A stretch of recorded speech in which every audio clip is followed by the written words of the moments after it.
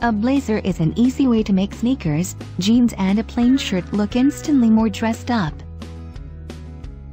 Missing your favorite crop top and skirt combo from the summer?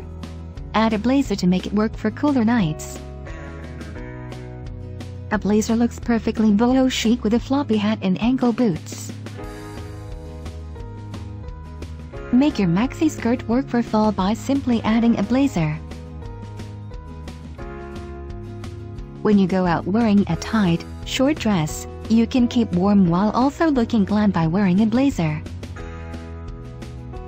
Shorts with tight look right at home with a long blazer that skims the bottom of the shorts.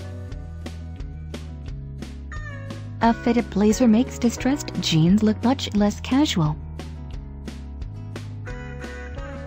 A more masculine-looking blazer makes for a nice juxtaposition with feminine pieces, like a lace shirt and colorful skirt. Make your flannel less casual by wearing it under a blazer and adding a statement necklace. Go for a bright colored blazer to give a big pop of color to any outfit. Don't be afraid to mix prints. The trick is to keep the colors similar, and to do small patterns like these tiny polka dots with other small patterns, like these thin stripes. Add a blazer and tights, and you can wear your favorite summer dress all fall and winter long.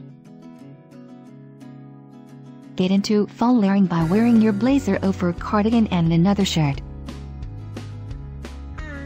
On warmer days, add a scarf and you don't even need a jacket. Go for a tweed or plaid blazer instead of a plain, solid one.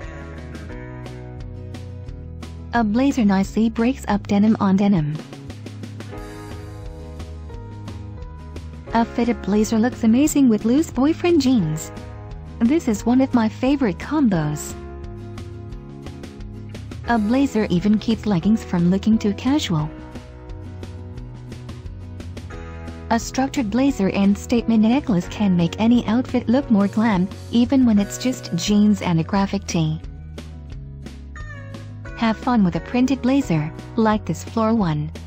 Wear it with similar colors.